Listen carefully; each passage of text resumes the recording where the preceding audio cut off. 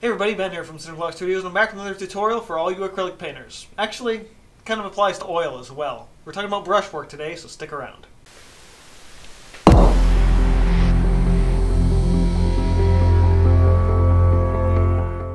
Now, simply picking up a paintbrush and just putting it on your canvas however you want to, yeah, that's kind of what painting is.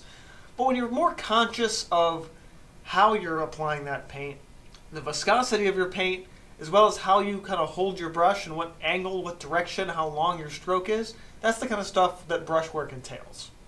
So there's three main factors we're going to be looking at today. First, your brush size, style, and stiffness. Second, how long of a stroke you're making. And third, your paint load and viscosity. So the first factor we're going to look at today is brush style.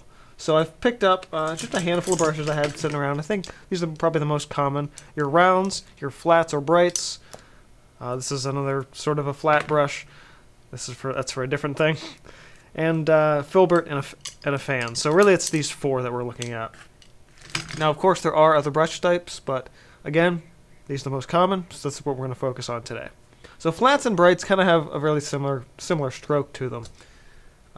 Grab a little bit of paint here going to get a nice uh, sort of single stroke, uh, really at any length.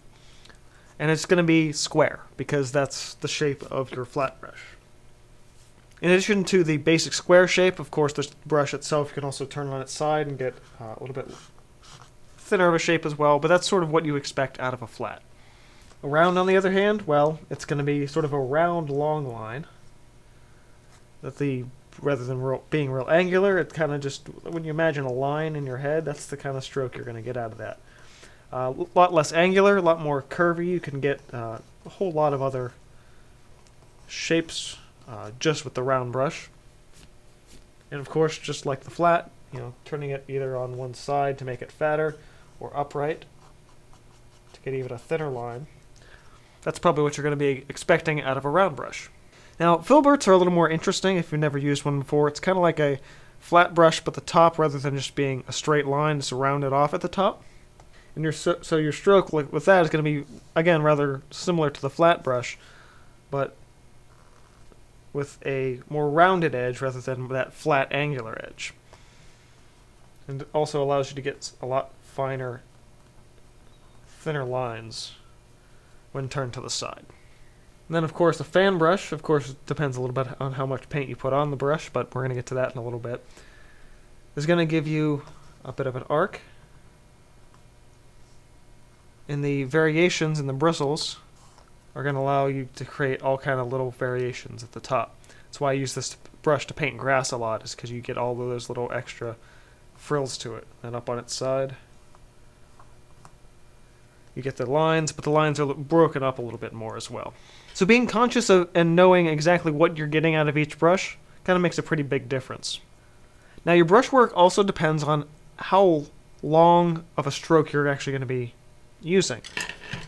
So I'm going to grab my flat again. Actually, it's a bright. I do this a lot.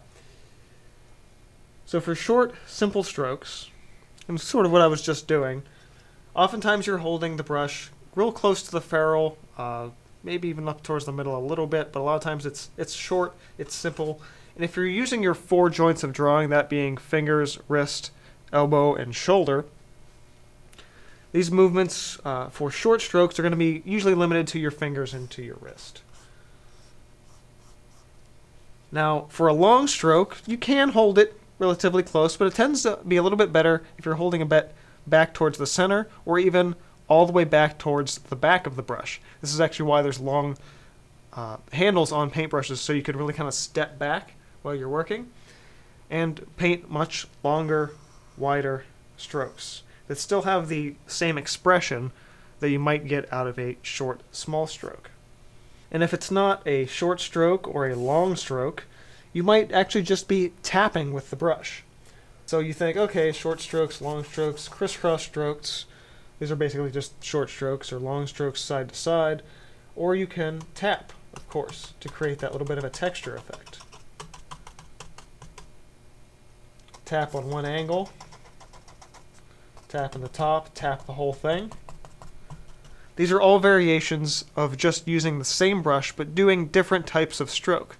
All of these, again, these are a type of brushwork. Now, another thing that determines your individual brush strokes is how much paint you're using and how thick or thin that paint is.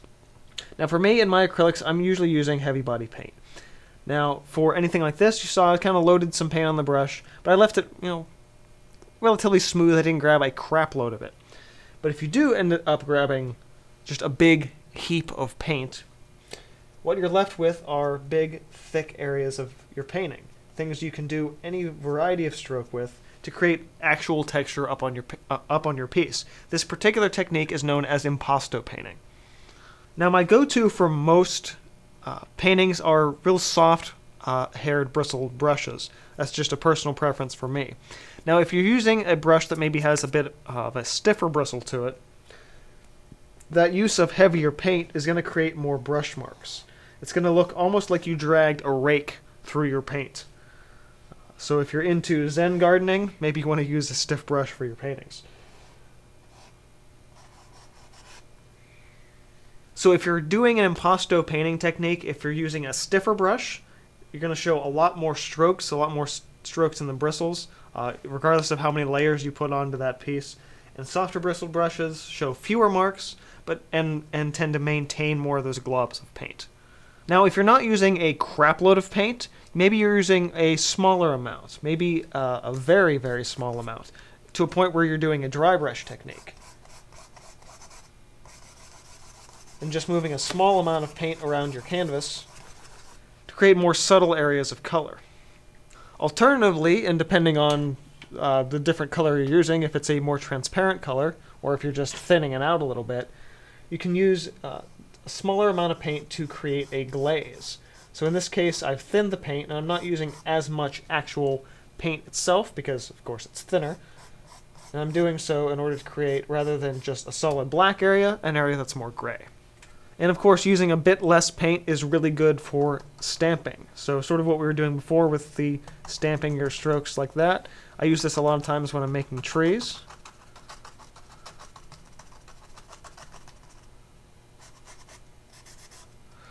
Or as I mentioned earlier with the fan brush, stamping in some grass. So that's sort of a cover of what you can do with heavy body paints, but what about something softer or even thinner? I'm talking really thin. I've been using these Golden High Flows a bunch in the past few years. So this stuff is, whoo, very drippy. Also very messy. This stuff has the consistency of an ink. It is super thin, uh, super uh, watery in sort of its appearance, but the pigment load is still very high to what you might expect out of a heavy body paint. So thinner paints often will create a much uh, flat or uh, much flatter look to the piece. But if you're really into doing more graphical stuff, more detail stuff, or even some uh, techniques with glazes, the thinner paints can often be a huge advantage in that regard. Plus, with a much thinner color, you don't have to keep dipping back for more paint, so it's really good for creating those super long strokes.